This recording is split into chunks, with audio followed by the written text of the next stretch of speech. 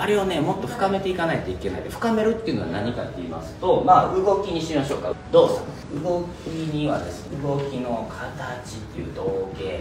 動形っていうのは動きの形です。これ形間違えてたらそもそも効かないでしょ。わかります？だからちゃんとしたフィジカルタイプに沿ったしっかりと形を取りましょう。というのが一つね。でもう1個が3つあるんですけどね。動向動きの方向性です。ここまでは世間で結構やられたりするんですけども。次なんです。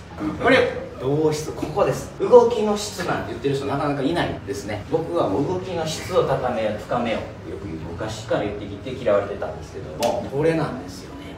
で達人って言われる人の動きとかはもうこれが違うんです動きの質。形一緒で方向性一緒でもこれが違うかったら別物なんですね、まあ、分かりやすい映画は何でしょう。例えばマイケル・ジャクソンのモノマネする人って多いですね。これとこれは似せれてもですねやっぱ質感が全然違う。なんとか言ってること分かってきました。ここまで似せれたら本番のモノマネですね。もうモノマネを超えてると言えるでしょうね。イチローのモノマネする日ローさんって言いますね。僕は彼に言いたいんです。あの人顔も似てるし風貌も似てるしイチローも認めるぐらいですからこれが足りない。これとこれはまあまあいけてるこれなんですよね。ぜひ日露さん知り合いいたらぜひ言ってあげてください。動きのこの質を深めていくとことじゃあ質どういう質がいいか。質ってクオリティです英語で言うとね。いろんなクオリティありますね。硬いクオリティとか。ネチョネチョしてるとかしっとりしてるとかね。ベトベトしてるとかね。そういう質感の中ですごく液体的なクオリティに体がなるといいんです。人間の体っていうのはそもそも流体構造ですね。流体っていうのは液体プラス気体なんですよね。の総称です。人間って生きてる人間の体は流体構造してます。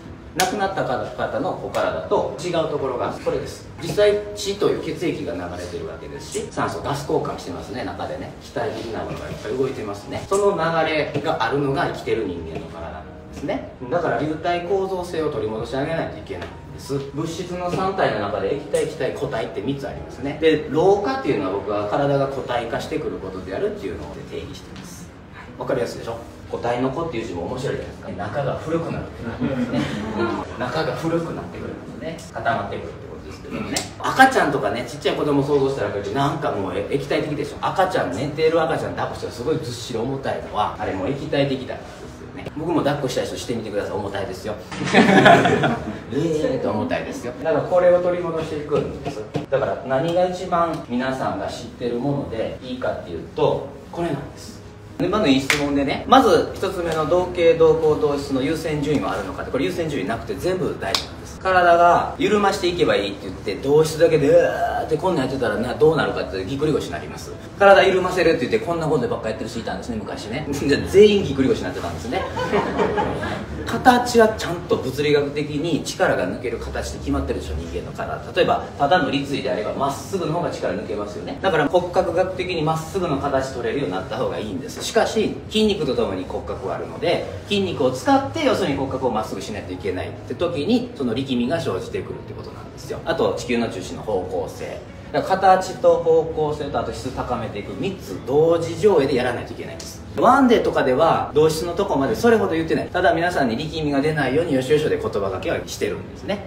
だからこの優先順位はなくて3つ全部一緒なんです。で今言ってくれたように形を作っていくと形をきれいに作れば作るほど力みっていうのは生じるんですね。だけど形は大事なんです。でこれどっちが大事なんですか？どっちも車の両輪で必要なんです。人間っていうのはちゃんと形を持って残念ながら構造を持って存在してますので必ず緩む形とかも決まってるんです。がそこで力みが生じるでしょ？それ優先順位なくて両方やる必要があるんです。だから今の質問で形をしっかりきれいに取ると。力んでまでやるといいのか。そこで同じ。そこで緩んでできるかを追求していってほしいっていうのがお答えですね。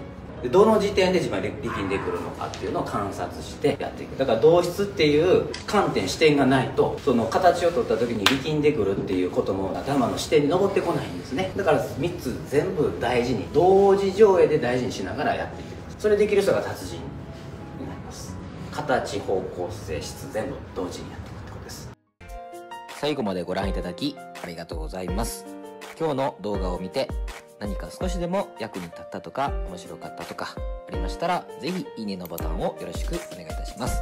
またチャンネル登録もよろしくお願いいたします。さらにお得な情報満載ですので腰の王子会員アットメルマガ登録ぜひよろしくお願いいたします。